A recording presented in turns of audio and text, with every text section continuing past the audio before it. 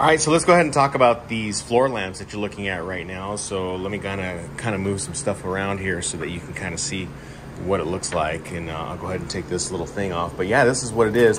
Oops, we'll just leave it on the ground.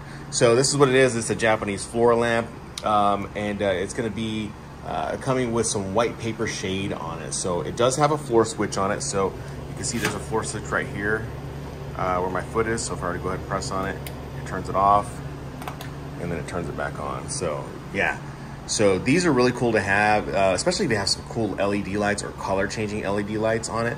Um, it can really uh, make it look uh, really, really cool in your in your home. Okay, so it does have a metal base on the bottom of it.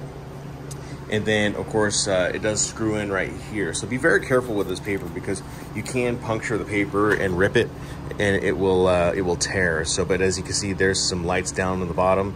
And so, uh, yeah, this, this comes in really, really handy.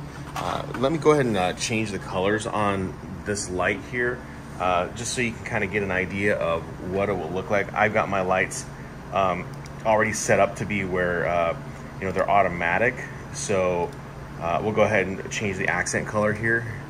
And so there you go. That's how those lights look. And then I got another one that's over here in the corner too. So that's what it looks like over here. So yeah, you can kind of see, and it makes it look really cool in your place. Now I got that other light, so yeah, you can see it looks really cool, and um, yeah, I think it would look really nice in your place. Just you know, regardless of what kind kind of bulbs you have in there. So I hope this helps out.